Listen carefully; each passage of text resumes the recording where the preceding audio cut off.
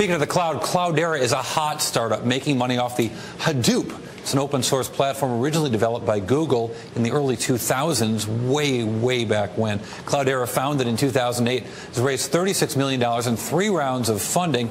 CEO Mike Olson joining us. Mike, Michael, which is it? Mike? Mike. So, Mike, um, Talk to me about big data. The cloud's so hard to get people's heads around. We are just talking to Bill Gurley about it. Uh, big data is a big concept. You, how do you explain that? Well, you know, the web properties discovered this problem before the rest of the world. They had the entire internet that they wanted to ingest and index and understand.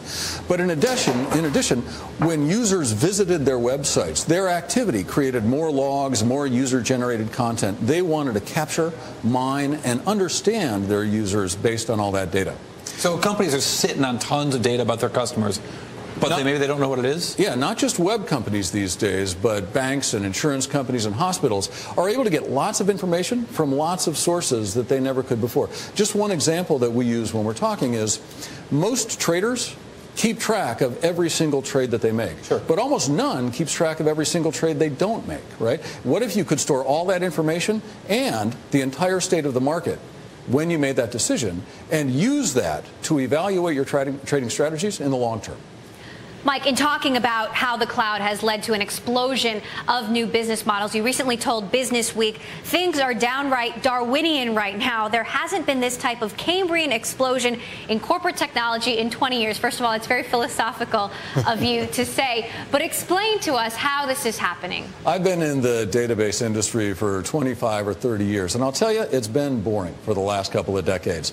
In just the last five or six years, with technologies like open source Hadoop, though, the decisions that CIOs get to make, the technology they've got to capture, store, and then analyze data in really powerful new ways is absolutely exploding. It used to be that the answer was relational databases, and then you could ask me the question. These days, column stores, NoSQL technologies, and systems like Hadoop are available for new problems and new ways to understand data. So if the amount of data is absolutely exploding, how do companies harness that data and make it useful? And is it all really useful?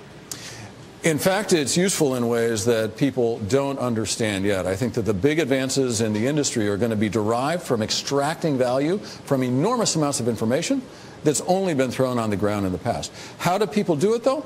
Using cloud technologies. The way that Amazon and Facebook build their data centers is to buy large numbers of commodity servers and then spread their information among all of them and their compute workloads among all of them.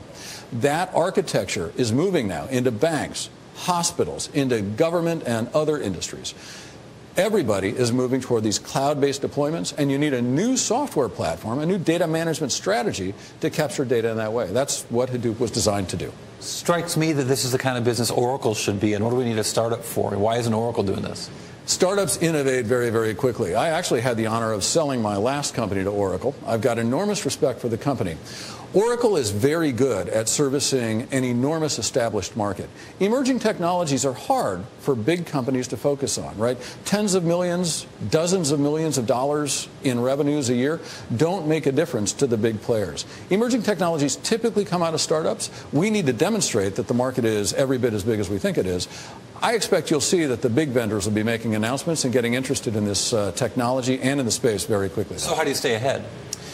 We innovate as fast as we can. We participate in the open source community, and we've got deep expertise in the platform. We hire the people who invented the system, who know it best, and then we use them to enhance and extend it and to work and service customers. Well, talk to me about using the open source. I think people don't understand what that means, and I'm really curious about how you guys have lots of people developing your software who don't work for your company.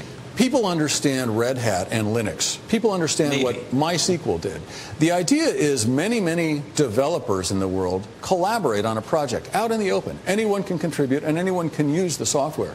The advantage is, and this is key, if it's not differentiating for you, if it's not really something that your business does better than anybody on the planet, you're kind of crazy to invest a bunch of resources into doing that work yourself. By sharing, platform development work across many organizations. Everybody benefits and then can build on top of that the innovative analytics, the custom applications, the real valuable IP that differentiates them in the market.